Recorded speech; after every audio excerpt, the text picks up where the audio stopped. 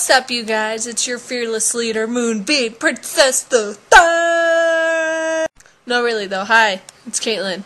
Um, yeah. So it's another vlog, isn't it a miracle? Christmas is almost here, and you know what that means.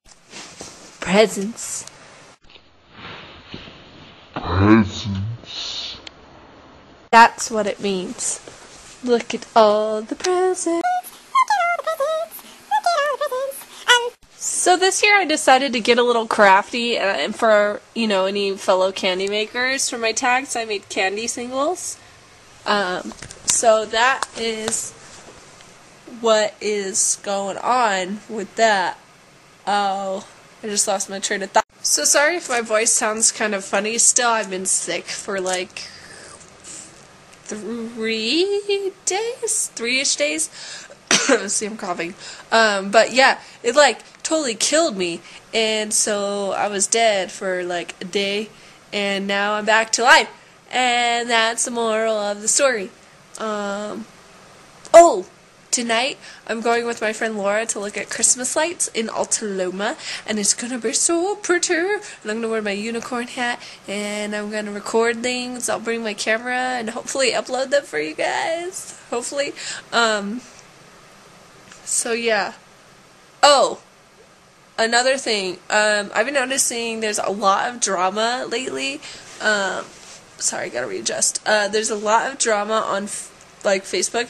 Just I don't know. I just want to warn you guys to watch what you say because there. My one of my favorite sayings I've ever heard is everyone you know is fighting a hard battle, so be kind to them. It's something along those lines. But it's so true. You don't know what the person next to you is going through. So you, if you're going to start posting an indirect status about someone, you know, degrading them, you know, any of it, making fun of it, even if it's in joke, if they don't know that it's a joke, you could be really hurting their feelings. So I would just be careful what you're putting out there. Um, just because I've been seeing some of the repercussions, it's just not nice. It's not nice. Watch what you put out there on the interwebs. Just watch it. Just watch. Watch it.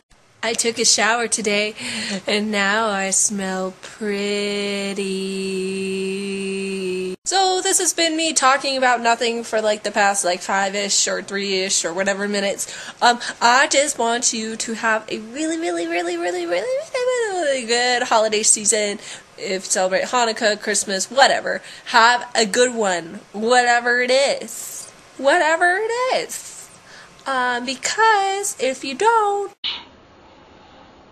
Someone's gonna get a. thanks. Happy holiday.